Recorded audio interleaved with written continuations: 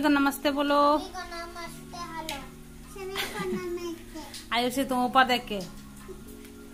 और क्या पार्टी चल रहा है? हाँ क्या खा रहे हो?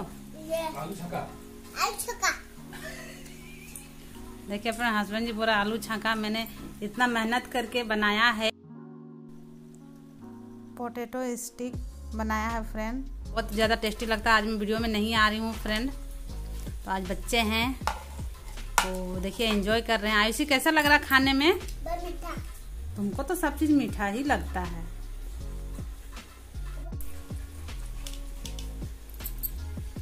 और ये देखिए फ्रेंड बहुत ही ज़्यादा क्रिस्पी बनी है।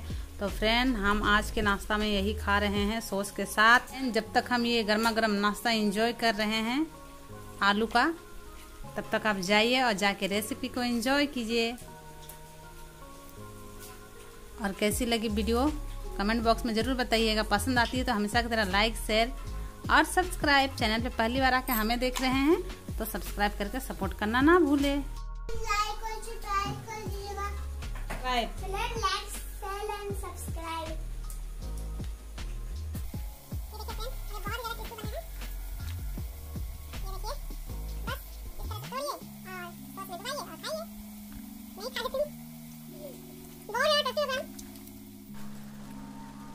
फ्रेंड, पोटैटो स्टिक बनाने के लिए यहाँ मैंने देखिए ये दो मीडियम साइज़ के आलू लिए हैं। सबसे पहले हम इसका छिलका उतार के इसे पीसेस में हम कट कर लेंगे ताकि इसे जब हम उबालें तो जल्दी से ये उबल जाए।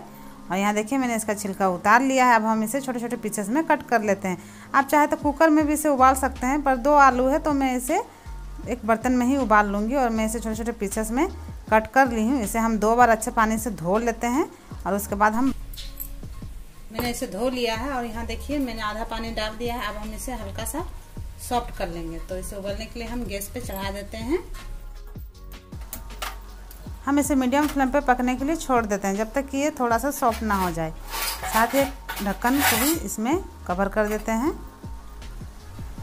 थोड़ी देर बाद हम देखेंगे कि हमारा आलू जो है सॉफ्ट हो चुका है। जितना हमें सॉफ्ट चाहिए, आलू हमारा अच्छे से परफेक्ट देखिए फ्रेंड हमारे आलू बहुत अच्छे से सॉफ्ट हो चुके हैं, ये देखिए। तो बस हमें इससे अधिक इसे नहीं पकाना है। तो गैस का फ्लेम हम बंद कर देंगे और इसे हम निकाल देते हैं। इस तरीके का एक छन्नी मैंने लिया है। इस पर हम इसे डाल देते हैं, ताकि जो एक्स्ट्रा पानी है इसमें से निकल जाए। इसे हम थोड़ी देर ठंडा होने के लिए छोड़ देते हैं। आप इसे पंखा के नीचे भी रख सकते हैं। थोड़ी देर बाद हम देखेंगे कि हमारा आलू बहुत ही अच्छे से ठंडा हो चुका है तो अब हम इसे मैश लेंगे। आप चाहे तो इसे कद्दूकस भी कर सकते हैं तो मैं इसे गमले में ही अच्छे से मिक्स कर लूँगी एक चम्मच की हेल्प से। इसमें एक भी लम्स ना रहे और जो भी गोटा आलू रहेगा उसे हम साइड निकाल देंगे। तो ये तेल में जब फ्राई होगा तो बिल्कुल भी अच्छा नहीं लगेगा। एकदम हमें जैसे रोटी बनाते हैं ना, बिल्कुल वैसा ही आटा लगाना। और यहाँ पे मैंने देखिए चावल का आटा लिया है। अगर आपके पास चावल का आटा नहीं है तो आप कॉर्नफ्लोर यूज़ कीजिए। और ये बड़े वाले चम्मच में मैंने पाँच चम्मच लिया है। तो हम इसमें डाल देंगे और इसे आप जैसे चटपटा खाना चाहते हैं तो इसमें आप मिर्च वगैरह ऐड कर सकते हैं। ये हाँ तीखा ही अच्छा लगता है। तो मैं यहाँ लाल वाले मिर्च ऐड कर रही हूँ। भुना हुआ जीरा का पाउडर थोड़ा सा कसूरी मेथी आप इसमें ब्लैक पेपर भी यूज़ कर सकते हैं। साथ ही ये मीठा सोडा है। एक चुटकी नमक, स्वाद के अनुसार। नमक तो बहुत ही ज़्यादा ज़रूरी होता है। और एक चम्मच रिफाइंड तेल। और हमें सभी को अच्छे से आटे जैसा लगा लेना है। आटे जैसा सभी को सान लेना और देखिए, यहाँ पे हमारा पेस्ट रेडी है। पानी का यूज़ बिल्कुल भी नहीं करना है। तो अब हम इसे बनाने का प्रोसेस बताते हैं। तो दो तरीका बताऊँगी आप प्लास्टिक का यूज़ भी कर सकते हैं और जो बड़े वाले प्लास्टिक आते हैं या तो बटर पेपर उसका भी यूज़ कर सकते हैं या फिर सिंपल हाथों से इस तरीके से आप इसे फ्राई कर सकते हैं। तो सबसे पहले हम प्लास्टिक से देख लेते हैं। तो यहाँ देखिए फ्रेंड एक प्लास्टिक मैंने बिछाया है और थोड़ा सा तेल लगा के एक रोटी का आकार का मैंने लोई लिया है और उसके ऊपर दूसरा प्लास्टिक मैंने डाल के मैं इसे बेल रही हूँ। हल्का हमें पतला बेलना है, ये देखिए। और ये इजीली निकल जाता है, ये देखिए, बहुत ही अच्छे से। तो अभी मैं इसे लंबे लंबे पीसेस में कट कर लूँगी। तो बस हमारा जो है पोटैटो स्टिक बन के रेडी है। और मैं आपको ये दिखाने के लिए कर रही हूँ। बाकी जो है मैं हाथ से ही फटाफट इसे रोल कर, करके फ्राई कर लेती हूँ। वो भी बहुत ही इजीली हो जाता है। इसमें थोड़ा मुझे लंबा प्रोसेस लगता है, पर अगर बड़ा प्लास्टिक रहा तो इसमें कोई प्रॉब्लम नहीं है। आप आराम से बना सकते हैं। तो ये देखिए, कुछ हमारे रेडी है और मैंने फ्रेंड चूल्हे पे तेल गर्म होने के लिए रख दिया है। और दूसरा भी देखिए, मैं उसी तरीके से कर रही हूँ तो ये मैं एक प्लास्टिक से कर रही हूँ। प्लास्टिक या बटर पेपर देने से फ्रेंड बहुत ही अच्छे से रोल होता है, बिल्कुल भी कोई दिक्कत नहीं होता है। और आप आराम से इस तरीके से लंबे लंबे पीसेस कट कीजिए पोटैटो स्टिक के और फिर तेल में फ्राई कीजिए और हम मीडियम फ्लेम पे फ्राई करेंगे। तो चलिए, पहले हम फ्राई कर लेते हैं, आधा जो हमने बनाया है। और मीडियम फ्लेम पे इन्हें पलट पलट के अच्छा क्रिस्पी होने तक हमें पकाना है। तो देखिए, मैं यहाँ डाल रही हूँ। एक बार में जितने आए और थोड़ा से एक साइड से हम इसे सीखने देंगे और फिर इसे कलछुल से दूसरे साइड भी पलट देंगे। ये पोटैटो स्टिक बनाना बहुत ही ईजी है और खाने में बहुत ही ज़्यादा टेस्टी लगता है फ्रेंड तो आप देख सकते हैं, थोड़ी देर बाद इसमें बहुत ही अच्छा सा कलर आ चुका है। ये देखिए तो इसे हम एक थाली पे निकाल लेते हैं।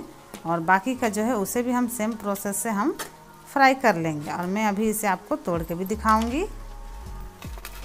ये देखिए फ्रेंड इसका आवाज़ से ही आपको लगता होगा कि कितने क्रिस्पी और ये देखिए, अंदर तक एकदम बहुत ही अच्छे से पक चुके हैं और बहुत ही ज़्यादा टेस्टी बने हैं फ्रेंड तो उसी तरीके से मैं बाकी पोटैटो स्टिक को भी फ्राई करके निकाल लूँगी और अभी जो है प्रोसेस है, वो मैं हाथ से ही लंबे लंबे पीसेस में से रोल करूँगी और फ्राई करते जाऊँगी।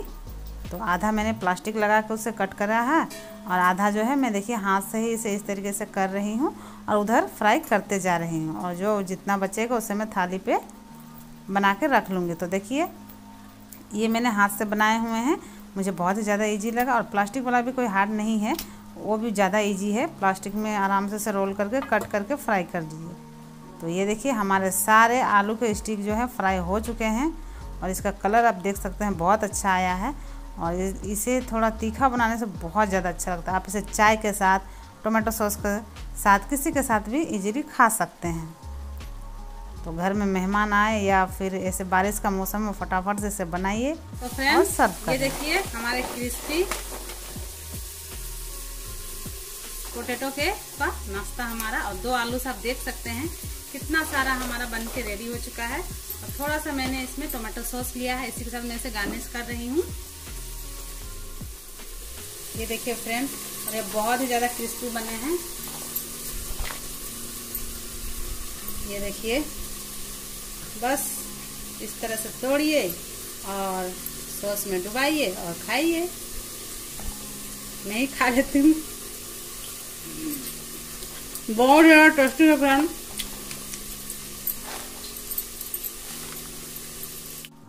उम्मीद करूँगी फ्रेंड आज ये छोटी सी रेसिपी आप लोगों को बहुत ज़्यादा पसंद आएगी तो लाइक शेयर एंड सब्सक्राइब और एक बार मेरी इस रेसिपी को ज़रूर ज़रूर ट्राई कीजिए फ्रेंड और कमेंट बॉक्स में मुझे ज़रूर बताइए कि कैसा लगा। तो चलिए फिर से मिलते हैं नेक्स्ट वीडियो में, तब तक ले थैंक